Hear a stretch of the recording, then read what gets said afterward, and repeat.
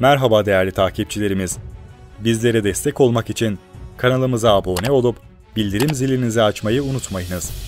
Son dakika gelişmesiyle sizlerleyiz.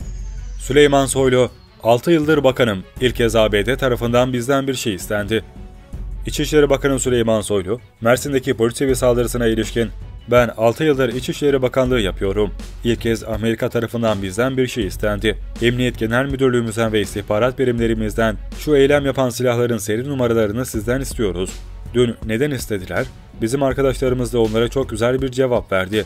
İstihbarat teşkilatımız, siz ilk önce PKK'ya gönderdiğiniz silahların seri numaralarını bize gönderin. Biz ondan sonra size göndeririz dedi.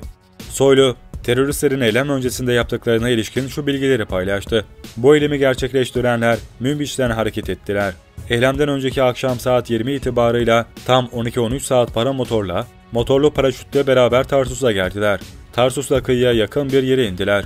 Sabah saat 10'a doğru, ondan sonra akşama kadar orada kaldılar ve oradan yürüyerek sonra birilerinin arabalarına binerek normal vatandaşların onlar da insaniyet namına götürmüşler ve ondan sonra eylemi gerçekleştirdiler. Ben 6 yıldır İçişleri Bakanlığı yapıyorum. İlk kez Amerika tarafından bizden bir şey istendi. Emniyet Genel Müdürlüğümüzden ve istihbarat birimlerimizden şu eylem yapan silahların seri numaralarını sizden istiyoruz. Neden istediler? Bizim arkadaşlarımız da onlara çok güzel bir cevap verdi.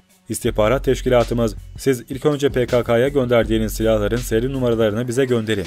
Biz ondan sonra size göndeririz diye.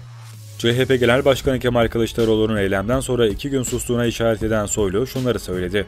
Soylu, PKK ve terör örgütlerinin Ocak ayından itibaren toplam 126 eylem gerçekleştirmek istediğini vurgulayarak, bunların sadece 13'ü canlı bombaydı.